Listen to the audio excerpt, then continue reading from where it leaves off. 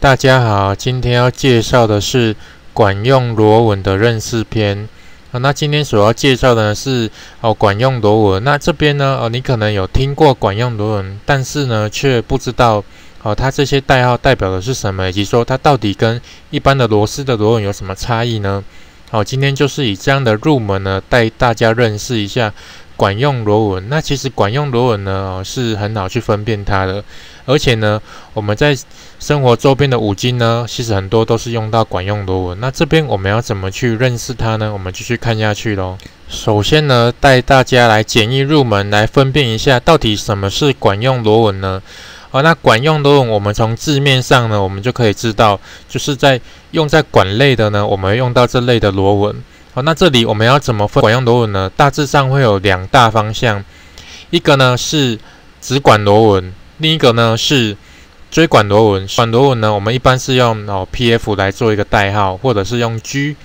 那这边呢，如果是圆锥的话，我们会用 P.T 好，或是用 R 来代表它的螺纹的代号。好，那这边呢，它跟一般螺纹有什么差异呢？好，我们一般的螺纹呢，它的螺旋角是六十度。哦，就是我们最常看到的螺丝，好像是公制、英制的哦，都是六十度。那这里呢，我们的管用螺纹呢，它都是英制的。那这边它的螺旋角是五十五度哦，所以差异在这里。好，那这边其实呢，好，最主要是用在一些防漏的地方。有的地方呢是有油的、有气体的、会有水的哦，就是防止泄漏的哦。所以管用螺纹呢，哦，最主要就是防泄漏用的。然后这边细节呢，它的一些名称哦，以及它的规格，我们等一下继续来看，哦，后面有更详细的解说喽。首先呢是 P F 牙的介绍哦，那 P F 牙呢就是我们的直管螺纹。那直管螺纹它的差异在哪里呢？我们从画面上这边可以看到。好，这边是一个细部放大图，所以呢，它的外螺纹跟内螺纹这边是比较夸张一点。好，那它最主要呢，就是它这个螺旋角呢是五十五度。好，所以我们一般的螺丝呢，哦都是六十度哦，所以我们不一样的地方在于这个管用螺纹它是用五十五度的。那这边呢，哦有一些地方不一样的是它的螺距。好，它的螺距呢，我们要怎么去换算呢？哦，一般管用螺纹呢，它都是英制的。所以它会有每寸牙数是多少？好，那这边如果有兴趣的，你可以到英制螺纹的认识篇哦，那边有一些详细的解说，或者你可以参考设计变栏或者是网站上的资讯。好，因为今天是以入门来认识这个管用螺纹，好，所以比较细节的地方呢就没有来做探讨。好，一样，那它跟一般的机械螺纹哦，我们常见的螺丝的螺纹呢哦，是是大致上类似的。好，大同小异的，那差别在有一些地方的参数哦，有可能是不一样的。好，那这里管用螺纹呢，它就是用在管类的。好，那刚前面有提到啊，主要是防泄漏用的。好，那这边其实我们如果仔细去看，会发现管用螺纹呢，它的螺距基本上呢都会比较小一点。如果你有去看工字粗牙或是英字粗牙的话，你会发现，好，这两类的。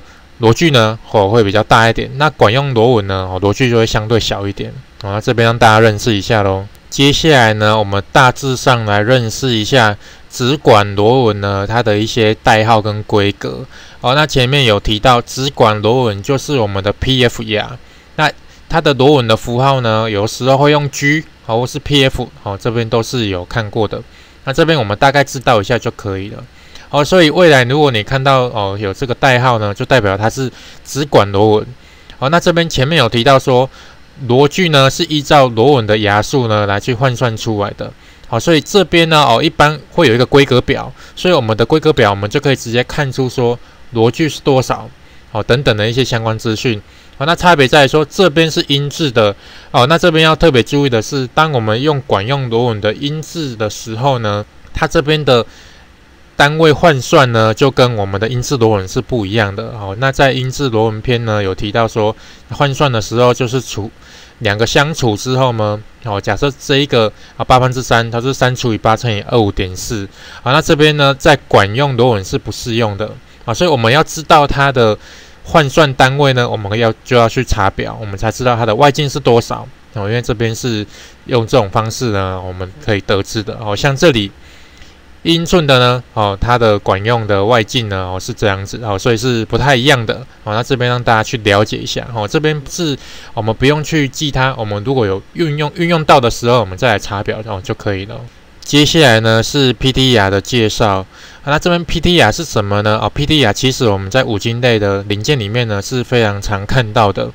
PT 牙呢就是椎管螺纹，那刚前面所提到的 PF 牙呢是直管，所以这边是椎管。好，所以椎管跟直管呢，它的螺纹的形状都是一样的。好，那我们要注意的就是一样，它这边的螺旋角呢是五十五度，它的螺距一样是用。螺纹的牙数呢，拿去换算出来的。那它的差异在哪里呢？在于说，我们的椎管螺纹哦，从从字面上我们就可以知道说，它是有一个锥度的。我们从画面上看到右边这个地方呢，它的牙的外径呢会比较大，然后往这边这样斜过来之后，这边的牙呢哦外径会比较小哦，所以它是一个哦锥形的。那我们看到哦，那这边它这个锥形呢是有一个比例的关系哦，所以是这样子是十六比一的。那这里呢，我们如果换算成我们的角度的话呢，是一度四十七分。好，那这边呢，我们可以啊不用去记它，或者是说你要知道要怎么去换算它哦。这边是好用三条函数的 tangent 的方式呢把它计算出来。好，那这边我们是不用去太理解它的，我们只要知道是一度四十七分那就可以了。那这个地方呢，我们在三 D 绘图的时候，如果你要用 SolidWorks 把这个真实的椎管螺纹画出来的时候呢，我们就要用到一度四十七分啊。那当然，我们这边呢运用软体可以直接换算成度，好，所以是很方便的。然后这边未来呢有机会来跟大家做分享。那这边其他的大致上都是一样，好，差别在于说我们的锥度呢，好是好十六比一这样子，然后一度四十七分这样斜过来，哦，所以这边的螺牙呢，哦，其实它螺牙的。螺纹的外形呢，哦，都是一样的，只是它有倾斜一个角度，哈。那这边让大家去认识一下这个 PT 牙咯。接下来呢是 PT 牙的规格表介绍。好，那这边呢，我们看到 PT 牙的规规格表，会发现说，哦，其实里面的参数呢是跟 PF 牙是一模一样的。好，为什么会这样？因为呢，它的螺纹的形状是一样的。那差别在于说，直管跟锥管呢，哦。在 PT 椎管牙里面呢，它就是有倾斜一个锥度，那其他的参数其实都是一样的哦，所以它这边规格表看到的外径啊、牙数啊、哦等等的哦都是一样的哦，甚至螺距都一样。好，那这边差异在于说，我们的螺纹符号呢，PT 牙呢会用 R 或是 PT 来做一个代号。好，那我们最常听到的是 PT。好，所以你听到 PT 牙呢，哦就是指的是哦椎管螺纹。那这边代号是这样子哈。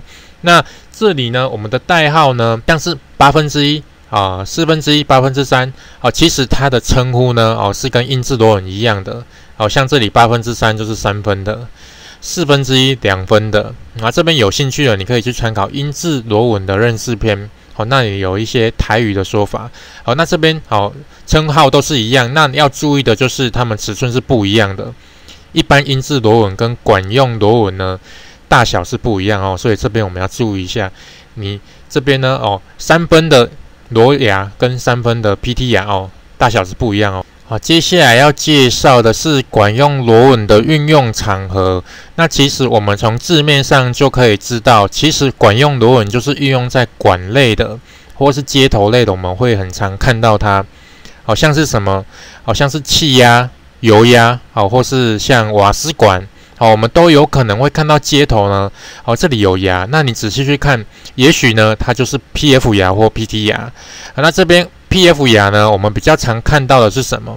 好像是有一些接头，哦，它是用浪管，哦，它是属于电缆固定头。你有有时候会发现说，它这边就是用 PF 牙，哦，有的地方呢，它的螺帽地方就有刻上它的代号，哦就是 PF。那 PT 呢？PT 牙我们就非常常看到，像我们用的啊气动工具，哦，那我们在哦管端呢，或是一些接头，我们就会看到这个 PT 牙，好，或一些管路接头，哦，有的是三通的啊，两通的等等的，或是九十度的，我们也会看到这个 PT 牙，或是呢有一些气压呢，会有一些接头哦，快插接头哦，我们也会看到 PT 牙之类的。好，那其实呢。不管是 PF 牙或 PT 牙，我们都是有对应的工具，好像是螺丝工或是玩具，我们可以去做哦加工的动作哦。所以有时候我们 P.F. 牙或 P.D. 牙呢，不见得一定要买现成的。有时候我们的设计上面呢，哦，你可能是一个板材或是一个素材，那你在上面想要攻牙，那你也可以做 P.D. 牙或 P.F. 牙，或者是说你的车间上面想要做外牙，哦，你也可以用玩具之类的，或甚至用车的把它车出来。哦，这边的运用呢就会非常的广泛。哦，那这边呢运用场合呢，哦，这边让大家去认识一下。哦，你也许哦会发现说，哦，你身边其实会看到非常多啊 PT 牙这类的。哦，那这边让大家认识一下。最后呢，来总结一下管用螺纹的认识篇。啊，那其实呢，我们最主要就分成两大类。管用螺纹呢分成直管还有锥管。直管呢就是 PF 牙，锥管呢就是 PT 牙。那这两个最主要的用意在什么呢？哦，最主要差别在于说螺纹角度不一样，是五十五度。还有呢，它最主要是要防漏的，好像是一些气体，好，或是有一些油压，好，甚至一些瓦斯管，我们都会用到 PF 牙或 PT 牙，好，主要就是防漏的地方。那这里呢，如果你有使用过 PT 牙或是 PF 牙，你会发现好像有一些。气动工具呢，我们用到的就是这类的牙，而且有时候我们为了防止气体会泄漏呢，会缠一些呃防漏气的胶带。好，那其实你可能没有发现到，原来你已经在使用管用螺纹，只是自己没有发现而已。哦，那甚至相对应的管用螺纹的规格呢，我们会有对应的螺丝工或是玩具呢，有时候会做一些加工，我们会来做使用的。好，那这类呢，哈，就让大家去认识一下。好，那今天的教学呢，就到这边为止喽，我们就期待下一次的教学吧，拜拜。